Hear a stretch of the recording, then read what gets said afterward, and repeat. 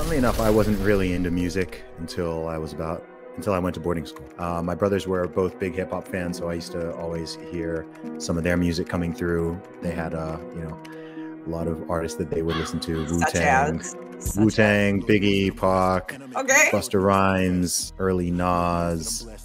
Those were EPMD. I really fell into hip hop when I was 11 or 12 years old, listening to artists like you know, Dr. Dre, Eminem, Ice Cube, Nas, Jay Z. Why? What spoke to you about that?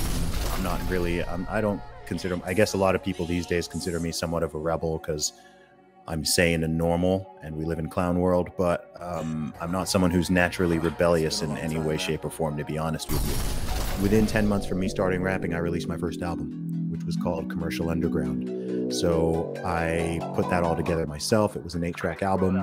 I ordered 50 CDs and sold all 50 in the first week, primarily to friends and family.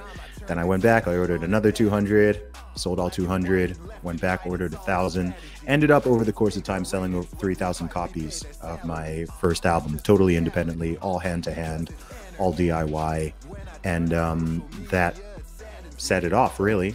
I used to sell my music and make the majority of my income by Okay. going going to different cities, standing on the street in the town center, and talking to strangers, playing them my music, and selling them my CDs for typically five pounds to ten pounds. So what does that translate to at the time? I guess let's say seven. Let's say seven to fourteen dollars Okay. right? And I talked to hundreds of thousands of people. You can imagine to sell 25, let's say 25,000 albums.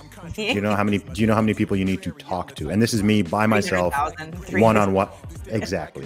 You got a